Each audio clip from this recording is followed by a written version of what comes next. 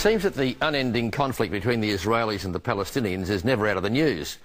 But there's another battle in the Jewish state that's far less obvious to outsiders. Most Israeli Jews, Jews consider themselves to be more secular than religious, but apparently the number of strict ultra-Orthodox Jews in Israel is growing.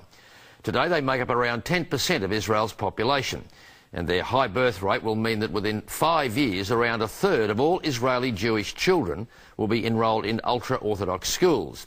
Video journalist Sophie McNeil says this trend has secular Israelis worried that their way of life could be under threat.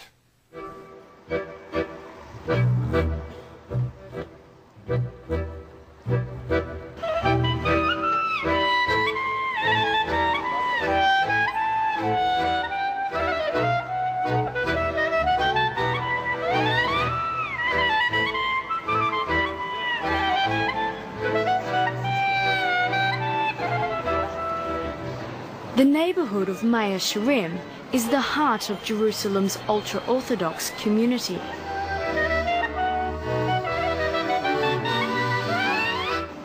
Life here revolves around prayer, study and ritual. Not much has changed since the suburb was built in the 19th century. Its devout residents don't welcome outsiders, who must observe a strict dress code. People here don't like to be photographed or filmed.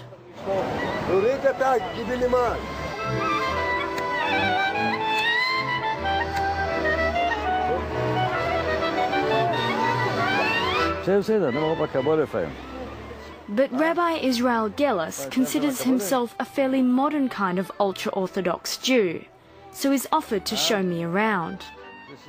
In Australia, sage shalom.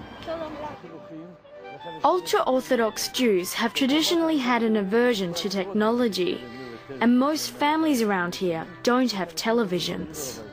As the rabbi explains, many get their news from these posters instead. בצורת התקשורת בציבור החרדי, שבציבור החרדי, כמו שיש עיתונות פנימית מקומית, יש מודעות, שזה מודעות מעכשיו לעכשיו, להודיע על דברים שקורים עכשיו. But the rabbi doesn't think his community is old-fashioned, and he's keen to show me around the local DVD store. זה הסרטים. זה הכל סרטים יהודיים. סרטים של הציבור החרדי. בואי תראי פה סרטים. It's in English. סרטים באנגלית. אלו, ש... אלו שמאשימים את הציבור החרדי בחוסר קשר בציבור החילוני, זה בא מתוך בורות. But the rapid growth of this community has recently led to a series of confrontations with secular Jews.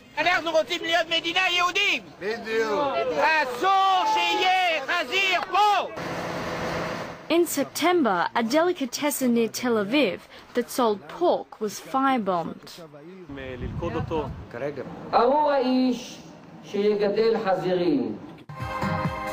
Just a few months before, a planned gay pride parade in Jerusalem sparked violence by the ultra-Orthodox, as reported by Israeli television.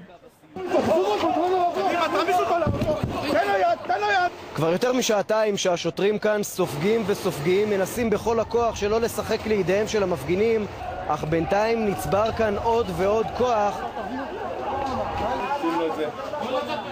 Recently, news broke that Israel's first crematorium had been firebombed. לאחר שאתמול בבוקר נחשף המיקום הסודי של המשרפה בעיתון חרדי. בערב היא כבר עלתה באש. אנחנו נגד כל פעולה לא חוקית, אבל אני שמח על התוצאה.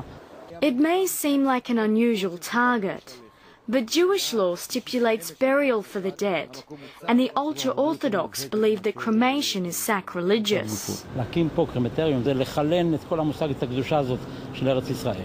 Cremation is not against the law. Crematorium owner Alon Nativ is convinced ultra-Orthodox Jews were behind the arson attack.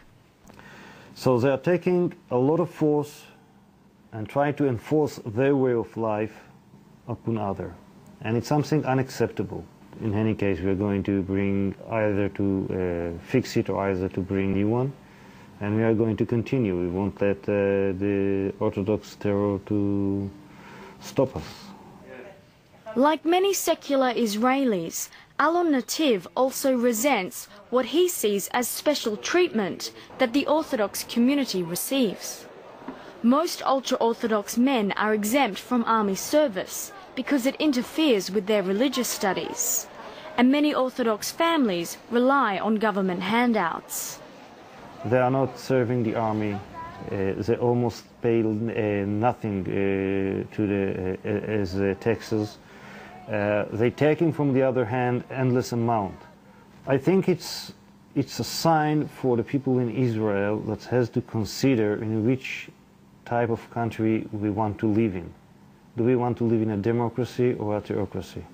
Uh, הביקורת הזאת נובעת מתוך זה שיש לי זקן ויש לי כיפה ויש לי חליפה שחורה וכשאני מגיע לאיזשהו אזור שהוא לא דתי אז מסתכלים עליי כאילו שאני ירדתי מהירח באיזשהו מקום ולמה אתה לא משרת? אף פעם הציבור הלא דתי לא יסתכל לכיוון שלו כמה משתמטים וכמה כאלה לא משרתים ולא יצרנים בציבור הכללי, שזה עולה מבחינת אחוזים הרבה הרבה יותר מהציבור החרדי. Local TV reporter Efrat Iris Benoz is one of thousands of Israelis who are turning back to their religion. זאת אפרת, כתבת חדשות הוד, מה שלומך? אה, אנחנו רוצים לבוא לצלם מידיעה על המסמכים אה, מהארכיון הסודי של היטלר. Raised as a secular Jew, Efrat now considers herself ultra-Orthodox. She says recent protests are not evidence that her community is becoming more extreme, just more vocal. בהלכה כתוב, אי אפשר לשבת, לי- אי אפשר לשבת בשקט, חייב בן אדם למחות. במקרה שלהם המחאה שלהם הייתה אה, קיצונית, במקרים מסוימים גם אלימה, אבל אה, הם היו חייבים לעשות את המחאה הזו.